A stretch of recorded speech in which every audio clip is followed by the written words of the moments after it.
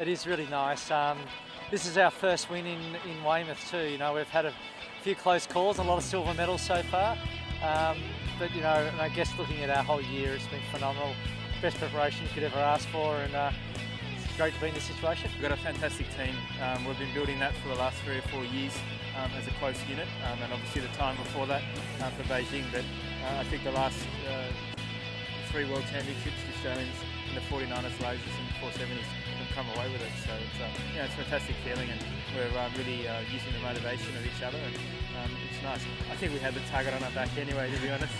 um, Mal's defending the big gold medalist from Beijing. Uh, when we teamed up, we knew we would have that responsibility, um, responsibility for Australia, and uh, you know we've shown that this year. He's been, been fantastic, um, and certainly with the Worlds a few weeks ago, um, coming away with three, three wins in a row. So you know, couldn't ask for any more. We're working hard and uh, we couldn't be better prepared. We just got to do the job. That's all. Oh, definitely. I'm sure we've got a little bit of reserve to go go yet. You know, the uh, Victor's plan is we haven't peaked quite yet, but uh, obviously we're getting towards the top of the hill. But uh, you know, we've got a few few months to go, or seven weeks. I think someone told me just this morning. So, you know, looking forward to the time ahead of us.